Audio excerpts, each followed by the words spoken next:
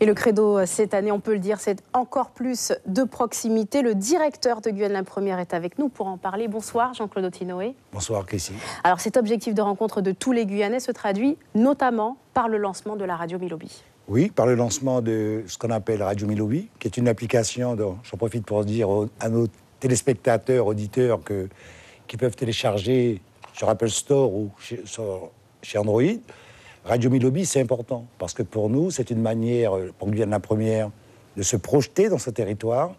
Et c'est aussi pour nous la bonne solution pour lutter contre les fractures territoriales et communautaires. Je pense que nous avons un rôle à jouer, nous, Guyane la Première.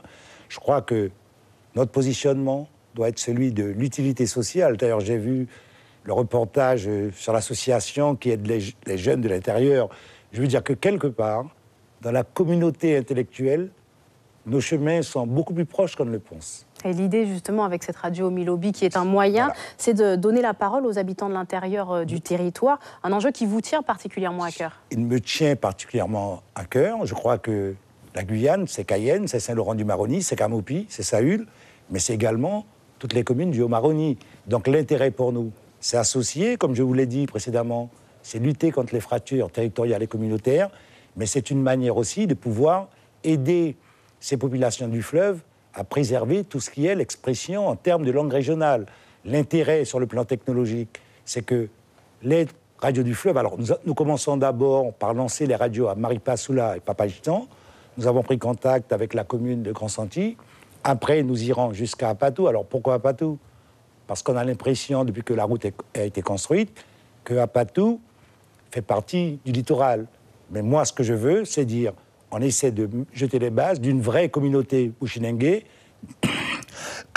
de telle sorte que les habitants d'Apatou, de, Grand Santi et de Maripasoula pourront, par l'intermédiaire de, de, ces fameuses émissions, communiquer entre eux. Hum. C'est une manière aussi de favoriser l'échange entre les différentes communautés de Guyane et aussi entre les différentes, comment dirais-je, implantations que, que l'on a tout le long du Haut-Maroni. Alors, la prochaine étape, c'est bien entendu, de l'autre côté, la frontière Est, Camopi, Trois-Sceaux, on a bien l'intention de s'y projeter dès le début de l'année 2019. Donc pour ce faire, notre présence sur les réseaux sociaux également et sur le net en général est renforcée?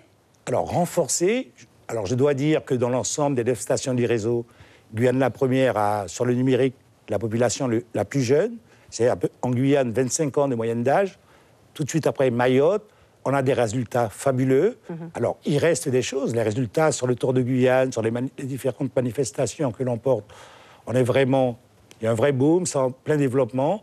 Reste pour nous à s'organiser sur tout ce qui est l'importance de ce qu'on appelle les fake news. Je crois que ce phénomène ne concerne pas que l'Europe, que les autres pays du monde, mais je crois qu'en Guyane aussi, nous sommes en pleine réflexion pour savoir comment Guyane la première pourra contribuer à traiter les infos vraies et celles qui sont, comment dirais-je, relèvent de, un peu de l'imaginaire et de quelques apprentis sorciers. Merci beaucoup Jean-Claude Tinoé pour euh, ces précisions sur la rentrée de Guyane la première.